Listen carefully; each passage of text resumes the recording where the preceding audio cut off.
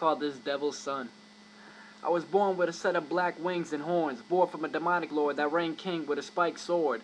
As a baby, I slept talking backmass like old Beatles in Chicago tracks. I would float in the air and twist my little neck till it snapped. Never understood the meaning of good, fuck is the meaning in that. I wrapped my head in saran wrap plastic and asked dad to provide me back. Take a blade and slit my wrist vertically. Blood is nothing but a quencher of thirst for me. Once at school, I threw a wrench at the nurse when she tried to tell my foster mom that I was cursed. Fuck Damien. Me and that diseased rascal never got along. I tried to ask him to hit the bong, but he said he was too busy doing wrong. Now I'm a teenager. I've killed everything from Army Rangers to Pokemon card exchanges. I torture orphans. I adopt them just to cut them often and hear them scream this life is rotten. World domination, that's what I'm plotting. Fuck being a martyr, those legends always forgotten. I don't have a biological clock. I'm demonic, so I guess I'm not stopping.